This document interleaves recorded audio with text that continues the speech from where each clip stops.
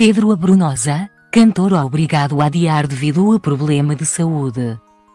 Pedro Abrunosa, de 61 anos, viu-se obrigado a cancelar o concerto desta segunda-feira. Dia 14 de novembro, no Festival Tuiu, no Centro Cultural de Belém, em Lisboa.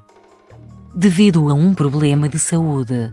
A informação foi avançada pela produtora Sons em Trânsito.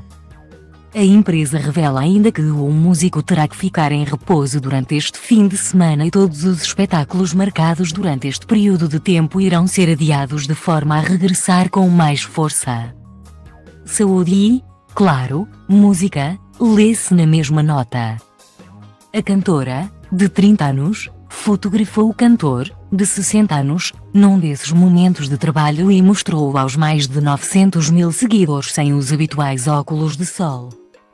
Pedro Abrunhosa tapou os olhos ao posar para a fotografia, mas Carolina Deslandes confessou aos internautas que, em momentos privados de gravações, o artista não usa este acessório na cara. Acreditam que eu já me esquecia que ele usa óculos. Revelou os fãs. Amanhã gravamos uma surpresa bonita para vocês, prometeu no Instagram. Continue a ler aqui.